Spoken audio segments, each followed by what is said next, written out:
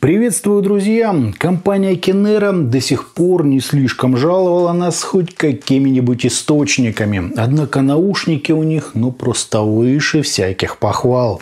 Причем не только у головной компании, но и у Queen of Audio и даже у Celeste. Признаюсь, я ждал чего-то подобного, и вот ко мне на тест приехал их мобильный ЦАП CD20.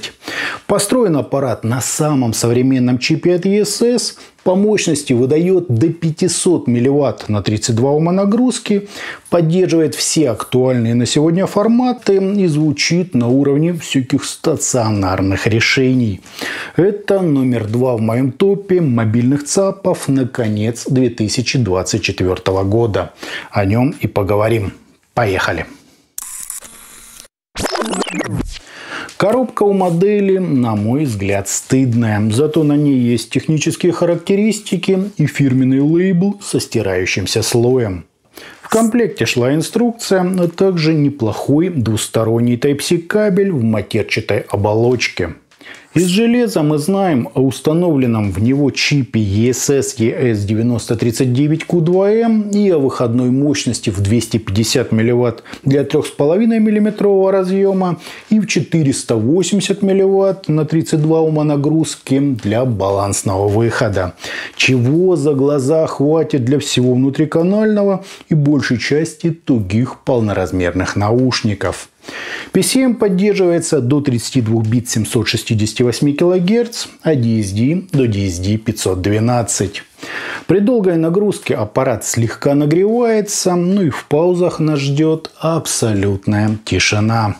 Корпус у CD20 металлический, с интересными такими скосами, тремя кнопками управления, Type-C входом и выходами сразу на 3,5 и 4,4 мм джек. Красная кнопка, как вы уверен догадались, здесь многофункциональная. Кроме паузы, она отвечает за переключение режимов UAC и гейна. По потреблению аппарат шаблонов не рвет стандартные 13 сотых ампера, как у большинства его конкурентов. Драйвера к нему я, к сожалению, не нашел, так что придется пользоваться WASAPI или, например, ASIO4All. Всему же мобильному и построенному на Linux ничего для работы не требуется. Измерения я проводил 24 бита 96 кГц с каждого из выходов на АЦП E1DA Cosmos. В результате получил довольно схожие результаты, за исключением, естественно, взаимопроникновения каналов. Почти идеально ровная чеха, шумы на минус 156 дБ, высокий динамический диапазон и искажения равные минус 140 дБ для баланса и минус 132 дБ на 3,5 мм разъеме, что в процентах дает фантастические 4,6 тысячных соответственно. Интермодуляционные искажения соответствуют минус 134 дБ, причем как для несимметричного, так и для балансного выхода. То есть все здесь идеально. На слух CD20 выдает достаточно четкое, подробное и по аналоговому объемное звучание с завидной динамикой, артикуляцией, глубиной и той самой мелодической составляющей. По скорости, прозрачности и выразительности он ничем не уступает эталонному в своем роде SMSL D10. Да, с точки зрения музыкальности, инструментальных тонкостей, изысканности и передачи характера герой обзора далеко впереди, но он и стоит в два раза дороже. В моем личном топе данное решение я поставил на почетное второе место, при этом первое и третье занимают Литшуи DT03 и Artemis 39 от 7 Гц, обладающие значительным уклоном в певучесть есть и с куда менее выраженной техничностью. По стилистике он прекрасно подойдет как для всего тяжелого и агрессивного, так и для академической, джазовой или, например, симфонической музыки, а также для всего живого, вокально и текстурно ориентированного, то есть ну, для всего вообще. Единственный нюанс, о котором стоит упомянуть, это его выходная мощность. При заявленных тех же 240 милливаттах на 32 ума нагрузки мой измерительный тракт показывает 4 ВРМС. В то время как на SMSL D10 я получил целых 6 ВРМС. Естественно, большинству хватит и 4, но с 6 запас, согласитесь, заметно больше, а потребление у них ну просто один в один.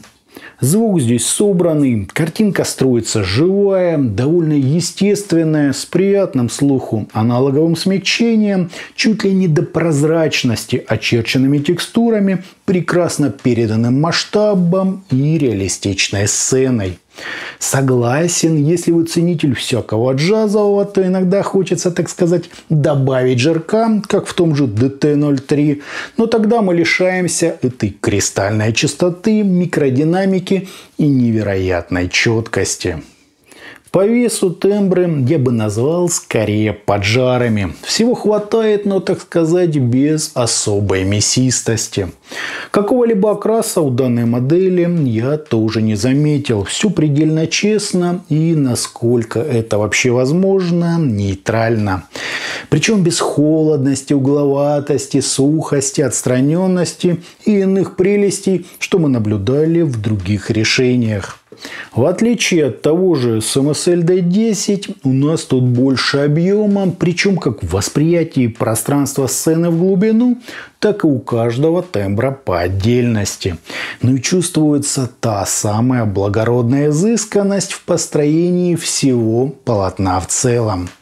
Если для вас критически важны различные мелкие оттенки или же злой рок наделил вас пониманием музыки, то CD20 это именно то, друзья, что вы искали. Выше уже только большие стационарные комбайны и топового класса аудиоплееры. У нас есть и магнетичная привлекательность, и прямо дотошная прорисовка, и полный спектр эмоций, изначально заложенных в произведение.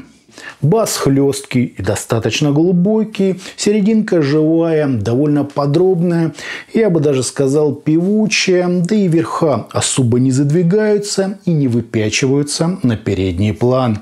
Лишь слегка подчеркивают нам разнообразные перкуссионные узоры, участвуют в груве и, конечно, дополняют собой звучание среднечастотных инструментов. В свою цену альтернатив я, откровенно говоря, не вижу. Есть более сочный DT-03 от Литшуя, но он прямо совсем уходит в музыкальность. А так, чтобы выдержать баланс, только Celeste CD20.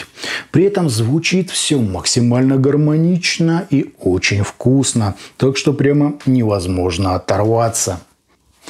Итогом мобильный ЦАП Celeste CD20 довольно круто выглядит, имеет свою собственную встроенную громкость, высокую мощность в 4 в РМС, чуть ли не гениальные измерения, достойное энергопотребление и предельно сбалансированное звучание, подходящее как для тяжелой и агрессивной музыки, так и для чего-то требующего изысканности и дотошности в передаче каждого из тембров, на каком бы плане он ни находился.